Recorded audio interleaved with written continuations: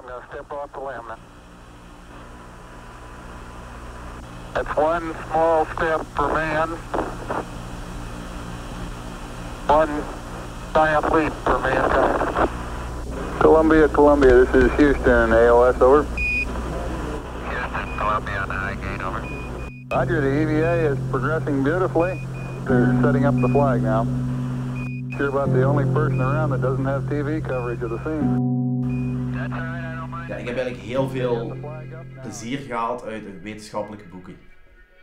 Dat die zo'n beetje tonen hoe dat de wereld in elkaar zit, wat er nog allemaal te ontdekken valt. Zo, ja, dat mysterieuze eraan, dat vind ik eigenlijk wel heel interessant. Maar ik ben wel obsessed met de, met de ruimte en het universum. Ja. Ehm, als kind moest ik altijd naar de kerk gaan. En eh, daar werd ons het verhaal verteld van hoe dat wij er gekomen waren en zo. En eh, ja, nu is het ondertussen een beetje achterhaald. Zo nu, nu zijn er toch wel andere dingen naar het licht gekomen, nieuwe antwoorden. En eh, dat is nog eigenlijk altijd een mysterie. Hè? En ik wou dat echt heel graag weten. En eh, ja, toen is de liefde voor fysica en eh, geschiedenis en al die dingen er gekomen. Ja, ik denk dat ik wel 50 boeken heb gelezen over het verhaal van oerknal tot nu en zo. Dat is begonnen bij geschiedenis. Ehm, maar mijn beste vrienden zijn, er zijn veel wetenschappers bij en daar heb ik op kot gezeten in Leuven. En eh, dat zit eigenlijk in die tekeningen. En eh, die knakkers die wisten daar heel veel over te vertellen, zodat de natuur eigenlijk in elkaar steekt en zo. En eh, ja, dat vond ik echt super boeiend. In het middelbaar, ja, ik, was, ik zat op kunstschool. En ik was daarmee bezig en bezig met jong zijn vooral. En de wetenschap die ik heb gehad op school was niet per se dat werd niet per se heel goed gebracht, nu dat zal ook al aan mij hebben gelegen. Ehm omdat ik in een vlegel was eigenlijk op school. Maar ja, daarna dan, ja, mijn kameraden zeiden van, hey bro, eh, je bent gemaakt van atomen en van energie en al die dingen. En ja, dat vond ik echt wel super interessant. En dan, ja, met leerkracht worden ben ik geschiedenis gaan doen, omdat ja, een wetenschapper, daar komt ook veel wiskunde bij kijken en daar was ik toch niet zo goed in. De inspiratie die ik krijg eigenlijk van de wereld van het leven, van van zijn boek te lezen, die, die probeer ik te vertalen naar beeld en dan ja, een beetje muziek op de achtergrond en je bent vertrokken.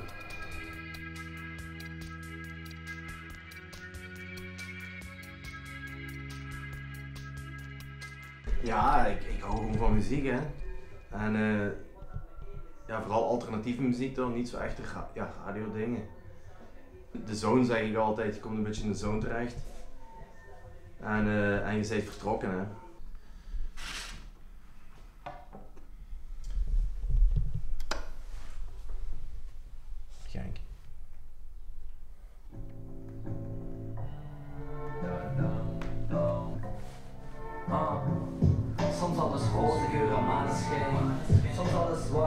Geur van. Het is wel een beetje mijn lijflied. En soms wil ik samen zijn met eenzaamheid gezelschap. It just what's up. Soms te bezig erbij en soms doe ik niks. Soms gaat alles zo moeilijk en soms. Ik constant van, ah, je kunt goed tekenen. Maar niemand ziet eigenlijk wat erachter staat. Zo. Dit is, ja, dit is een, verhaal van 13,7 miljard jaar wat er eh, in één tekening staat. Zo, maar niet iedereen legt die link, want ze, niet iedereen heeft die kennis ook. Maar.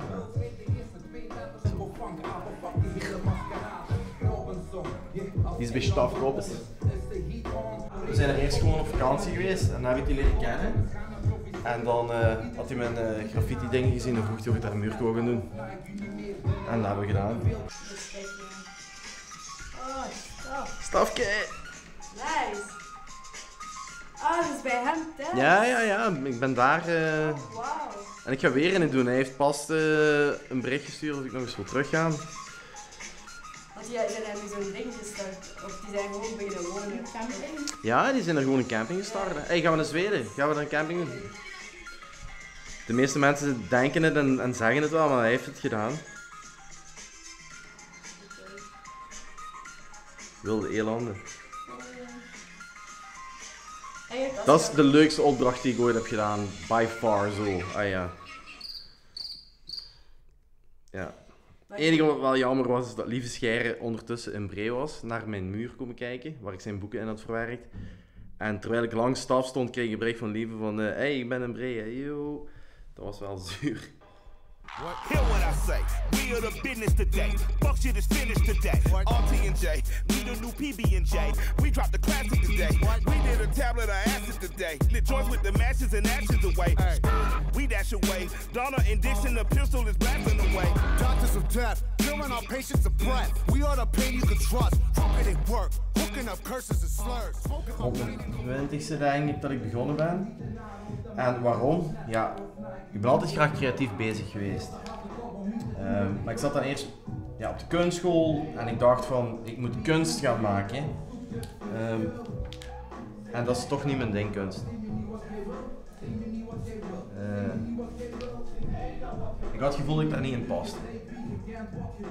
Ik vind, bij graffiti draait het meer om plezier maken en samenkomen, samen zijn, lol, eh, stijl maken, alles kan, alles mag. En ja, vind ik veel fijner. Brengt alleen niet zoveel op als de kunst zien, maar ja goed. Combinatie van lesgeven, dat geeft me ook structuur en routine. Elke dag voor de klas gaan staan. Ehm, ik krijg heel veel terug van de jeugd. Ik probeer positief voor de klas te staan en ja, ik krijg heel veel ja, positiviteit terug. En eh, dat, is, dat is fijn. En daarbuitenuit kan ik creatief zijn. Ik kan ook op school in mijn werk creatief zijn. Dat is een heel fijne afwisseling. Ik vind dat prima.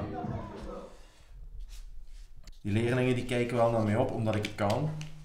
En eh, als ik dan tegen hen zeg van hey, dat heb je heel goed gedaan, dan ziet je wel even shinen zo. Ja, graffiti, gelijk ik zei hè, in het begin, was ik meer met kunst bezig en er zit meer idee en verhaal achter. Maar dat is ook heel vermoeiend. En bij graffiti moet het gewoon, dat gaat om, het, om de stijl, om, om je flow die je hebt. Dat moet er gewoon leuk uitzien, je moet plezier maken. Dit draait meer om plezier dan, dan kunst, zal ik maar zeggen.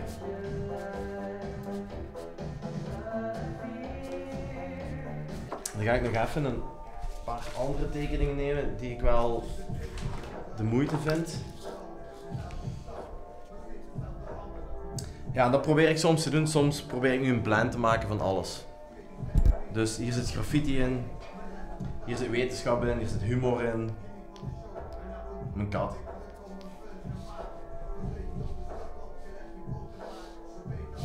Ja, Ausvaart, ehm, dat is dat verhaal van met vrienden naar Berlijn gaan en dat iemand vraagt onderweg van hey bro, hoe groot is Ausvaart eigenlijk? We zijn er al duizend keer langsgekomen. Dus afrit. En dat is zo'n maat, dat is fucking afrit jong. En sindsdien zeggen van hey kerel, wanneer gaan we nog eens naar Ausvaart en gaan we er eens in drinken? Dat vind ik ook wel, vind ik ook wel een toffe. Echt vet. Student. Student of Life. Dat is een project dat ik heb willen doen. Dat wou ik verder uitwerken, maar het is bij een idee gebleven. Ik zie mezelf ook wel als een student van het leven. Omdat ik dit allemaal wil snappen. Ja, voilà.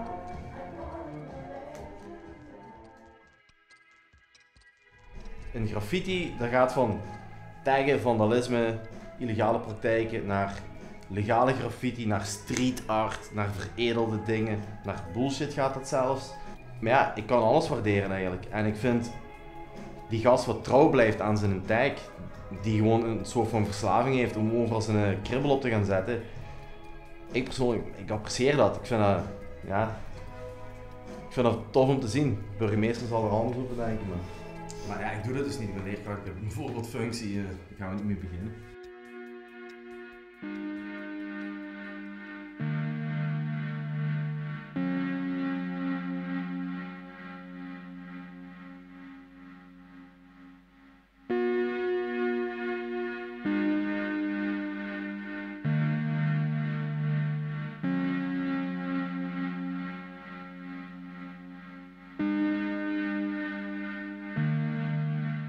Ehm, dus ja, ik wil je eens meenemen naar een paar plekken waar we, waar we met graffiti bezig zijn geweest. Ehm, en dan zie je eigenlijk mijn twee dingen. Mijn twee thema's zal ik maar zeggen. Ene is gewoon letters voor plezier. Eh, fijne lettertjes maken, mooie kleurtjes, amuseren. Ehm, en af en toe mag er ook wat meer zijn en dan, ja, dan kruipen er ook meer ideeën in. En dan gaat het over wetenschap, een kijk op de wereld een beetje, zo, zo die dingen ik probeer weer te geven. En we gaan nu eerst naar de wetenschapstunnel, dat was een opdracht voor de stad Bree. Samen met uw kameraden. Samen met mijn kameraden, ja. Wij noemen ons eh, al lachend de Limbuddies. Omdat we allemaal van Limburg zijn, Nederlands en, en Belgisch Limburg. En eh, ja, daar zijn wel ook een paar talentjes bij. Waar ik eigenlijk veel van heb geleerd. En eh, ik was er ook heel blij dat die mannen mee wouden doen. En ja, dat is de wetenschapstunnel geworden.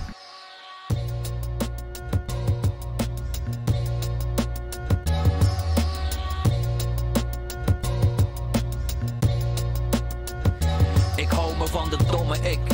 Maar ik is geen dommerik. Beredeneer de stappen die ik zet. Ik ben geen stommerik, maar hongerig. Gefocust op wat voor me ligt. Ik kijk niet meer naar achter, nee, daaruit had ik geen voordeel meer. Dus This is it. Get back.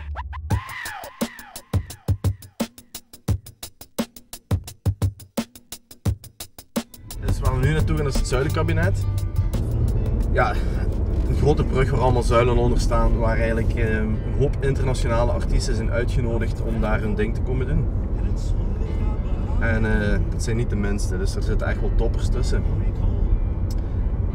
Wordt georganiseerd door Geert Sapo, ook een graffiti-spuiter. En die is mij ook uitgenodigd om daar een keer een zuiltje te gaan doen. Die met die skullstaar, dat is eh, van Bart. Dat is een van mijn beste vrienden. En daar heb ik heel veel van geleerd.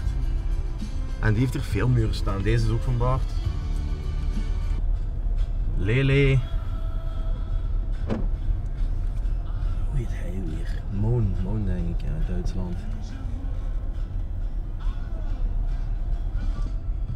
Ja, en altijd goede tijden hier. Hè. We zijn er met 10, 20 painters, allemaal bezig.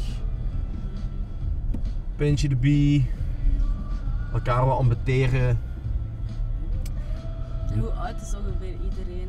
Oud. Ja. Ik ben een van de jongste eigenlijk. Dat zijn echt allemaal oude knakkers, die graffiti mannen. De meeste die, ja, die ook zo goed zijn, die zijn bezig van de jaren 80, 90. Hè. Nash, onze, onze koning, die heeft hier een, eh, ja, een super mega muur gemaakt. Oh ja. Een muur van eh, duizend gezichten. En elk gezicht, ehm, daar worden twee gezichten in verenigd. Dus elk oog dat je ziet, past bij een gezicht aan de rechterkant en ook aan de linkerkant. Kijk je knetterscheel op. Ik zal even aanwijzen.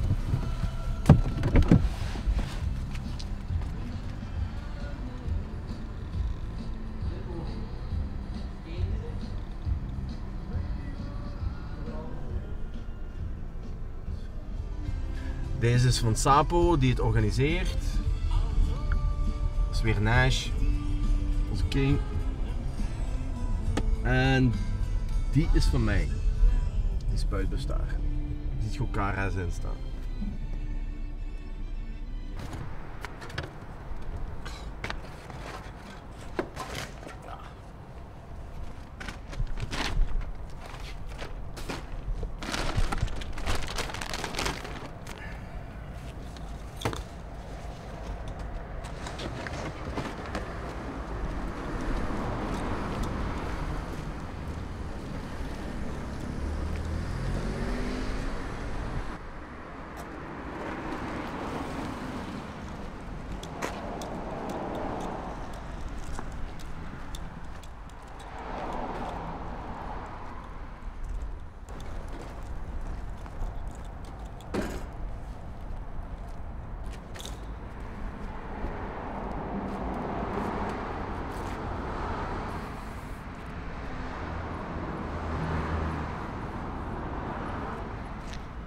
Een van mijn oude blikken die ik bij had.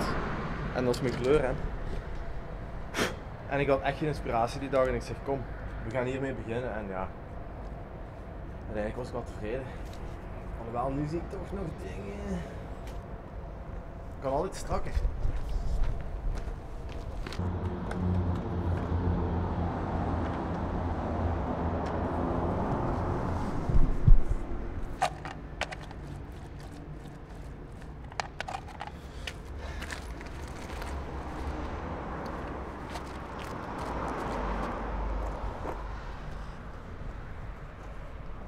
Die is wel heel donker.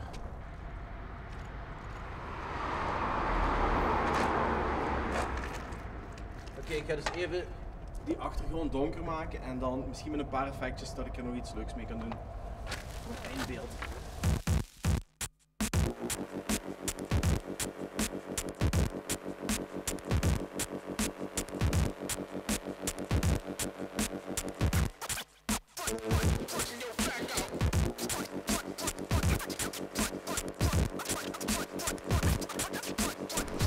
Very satisfying. ASMR weer. Ik luister gewoon de hele nacht naar de paardenbok, de paardenbok die we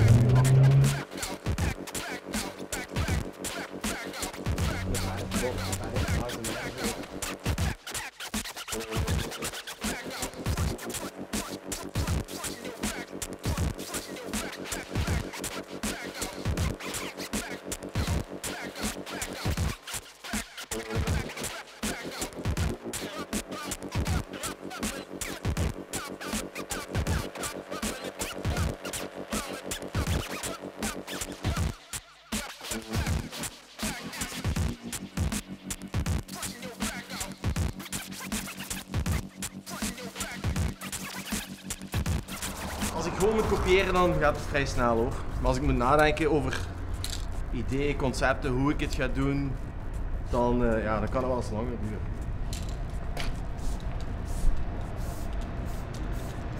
Als je goed kijkt, kun je er gezicht in zien. Gezicht? Yes.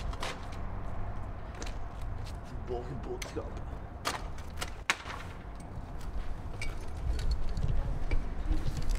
Dus deze plaats is legaal u om. eh, Nee, nee, nee. Niet de politie bellen, hè? Nee, ehm ja, deze, dit is op uitnodiging. Dus hier moet je uitgenodigd worden bij het Zuidelijk Kabinet. Hier kun je niet zomaar iets komen doen. Wij kunnen dit nu omdat ik ben uitgenodigd. Aldoende leert je. En eh, veel kijken naar elkaar. Veel experimenteren en praten, hè. Ja, ik vind het wel beter. Even naar de camera kijken. Dat helpt. helpt dat uw gsm? Ja, je hersenen zeggen soms van nee, nee, dat klopt. Terwijl het dat niet klopt. En als je dan een gsm kijkt of een foto maakt, dan is het iets kritischer. Veel beter.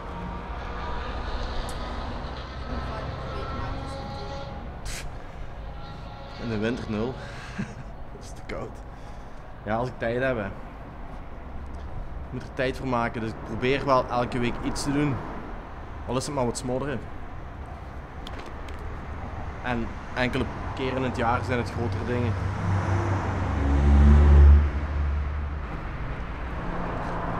Hmm, Ik denk niet dat ik er nog veel eh, aan ga doen eigenlijk.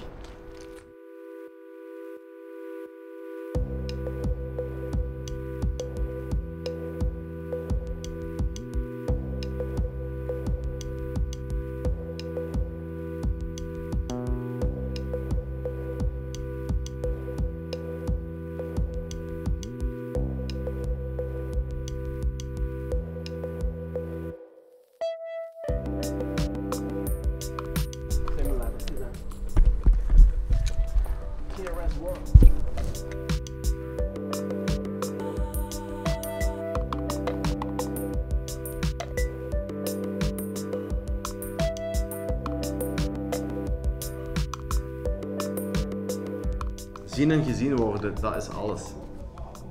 Dat is ook wat graffiti is eigenlijk. Dat en die goede tijden hebben onder de brug.